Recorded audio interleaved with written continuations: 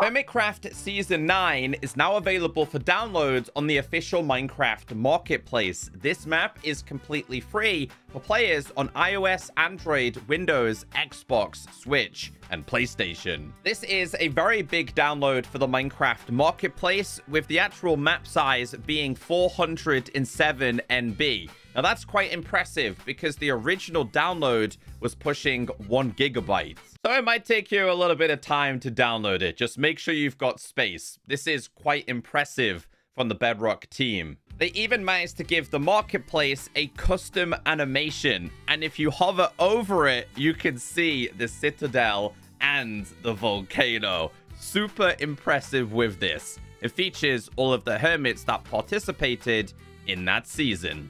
Now, this is awesome. I know a lot of people are excited about this, and I really do hope in the future more SMPs, more creators world, cough cough, Stampy's lovely world, can make their way to the official Minecraft marketplace. Now, there's a couple of things I would like to say before we get into this. Decked out and other redstone related mini games they don't work, and it's quite sad. But we do actually have some kind of updates, which could mean in the future it might actually work on Bedrock Edition, because there is actually a working decked out on Bedrock Edition. Let me show you.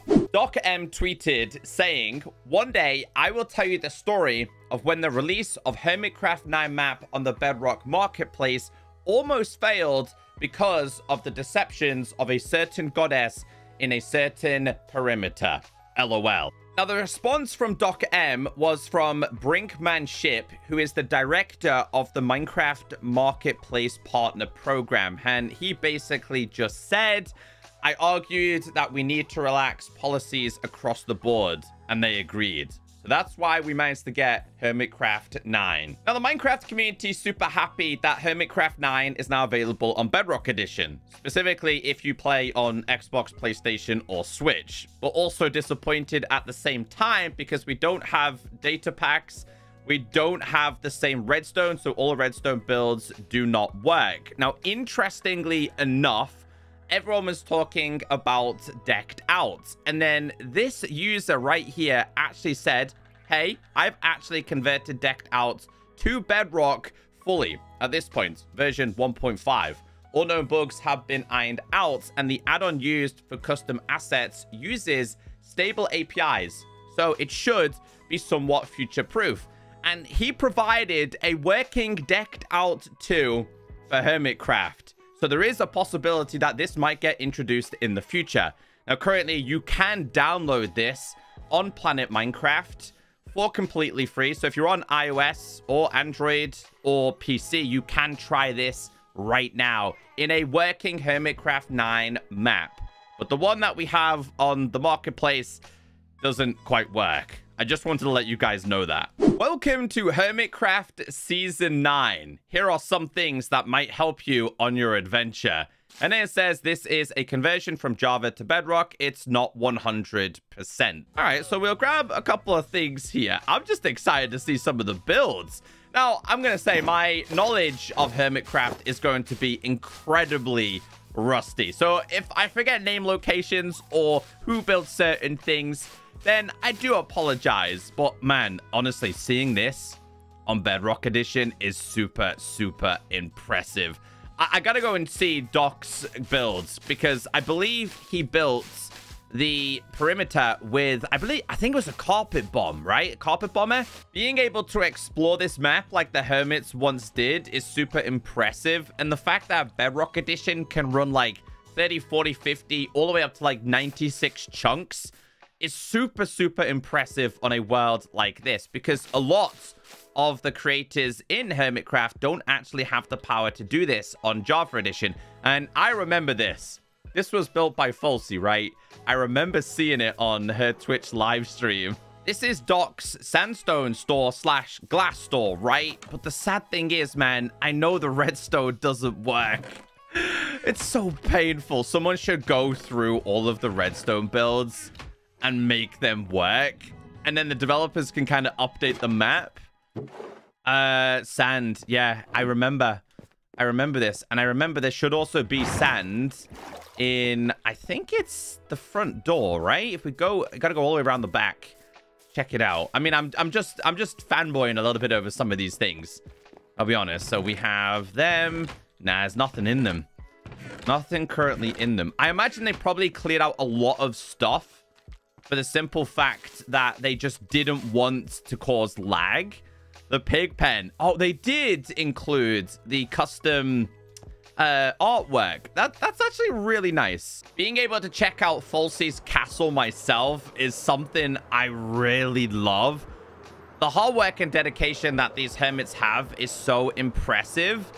And I love, I absolutely love the blending of the colors here. But this is on a huge scale. I have a friend, shout out to Charged, who would also build in this kind of environment. And honestly, I have I have so much respect and I admire so many builders who can just carve out the icy peak areas and just turn it into a living surrounding area. This is on a different scale. I know this isn't the biggest build in here. I know I was going to go and check out uh, Doc, Doc M's place, but I just keep getting sidetracked from some of this stuff. Now, sadly, on Bedrock Edition, we're going to notice a lot of Steve heads. That is because the Hermit choose custom data packs that lets you have custom heads. Uh, Bedrock Edition there is resource packs out there very similar, but unfortunately, Bedrock Edition doesn't actually have those things. Which kind of sucks. I imagine some might well be Steve heads, but I think most of these are meant to actually be custom things. And some of the things that's meant to be on signs and some things that are meant to be inside of item frames also might not necessarily be there as well. The map even features the trading card game, which actually became an official thing for Hermitcraft.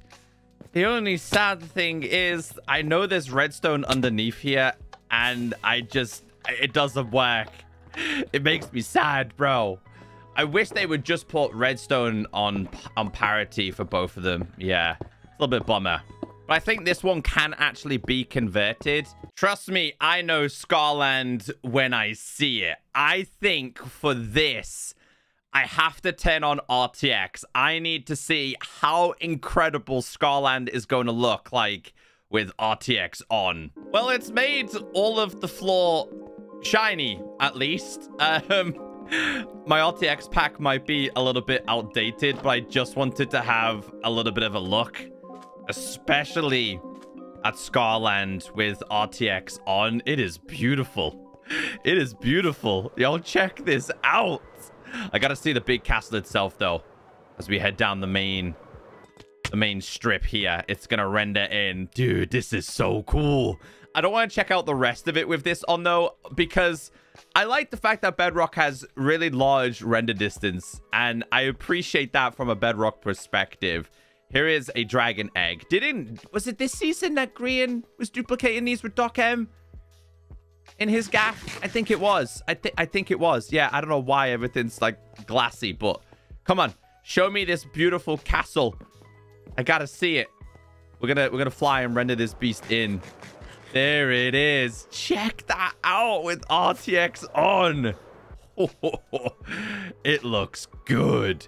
I, I really appreciate this. And, and the reason why I appreciate this is because I could never build on this kind of scale, ever. So when I see that, like, each individual built their own respective builds, block by block, stream by stream, day by day, it makes me just really appreciate Minecraft and, and, and the Hermitcraft community and Minecraft is in general, dude. Look at that. Oh, I love this. All right, anyway, we can turn off RTX in real time anyway, which is, is also an impressive Bedrock Edition feature. But look at that, man. The main strip feel like I've just entered Disneyland. Yep, there it is. The Ender Dragon made out of Ender Dragon eggs. Grian and Doc, right? They were duplicating these. I remember. Wasn't the plan originally for this to house an Ender Dragon? The thing is, with a build like this, you'd actually think that this was done in creative by multiple people, but it's not it's not done by multiple people. I think I think it was a carpet bomber. It was some form of redstone contraption that was used to carve all of this out, but this this is one of my favorite builds in here. I love, absolutely love the artwork around the outside. Truly phenomenal. Doc is just built differently. He really, really is. And I noticed anti-Mumbo, anti-Gree, and no entry. I, I love this. This reminds me, strangely enough, of one of 4J's old mini games. Do you remember the Spleef one? And, and you were kind of in like a dome like this? I might be wrong here, but is this the area they were testing how far Sculk could actually spread? Because in the process of Season 9, we were getting Ancient Cities and Deep Darks. I think Xisumavoid was doing something along those lines. I think I've seen a separate video from him. And there it is, the Citadel, featuring Decked Out, which you can see right behind me here. A little bit sad that it doesn't work on Bedrock Edition. I hope they can resolve that at some point, but you just got to go and explore. It's not even just this build, it's the other local builds as well that are just built above and beyond what I thought any Minecraft player was possible of doing. And I love this. I get serious, like, Lord of the Rings vibes from this. Yo, look at that portal. Now, that's what we call... Oh, bro, I've done it again. Another build that deserves to be blessed by RTX. Yo, things pop so much. Now, obviously, the redstone-related things do not work, unfortunately. But you still get to appreciate the phenomenal work that's gone into this. Yo, check out that. Oh, I love this. I love this. The difference between RTX on and off in a build like this is truly phenomenal. And again, another prime example of the custom heads not actually showing. And obviously the redstone components that make decked out as decked out and everything that comes together to make it possible. So that's one thing, one thing I think all Bedrock Edition players are hoping for. The conversion of decked out would really, really complete a build like this. Now, I know I might not have explored all of your favorite YouTubers' builds and creations, but that's okay. That is for you guys to go and do yourself because it's now available on the Minecraft Marketplace for completely free. If you did enjoy today's video, please be sure to hit that like button. And who knows, we might even see more SMPs and YouTuber creations on the marketplace. Have a wonderful day.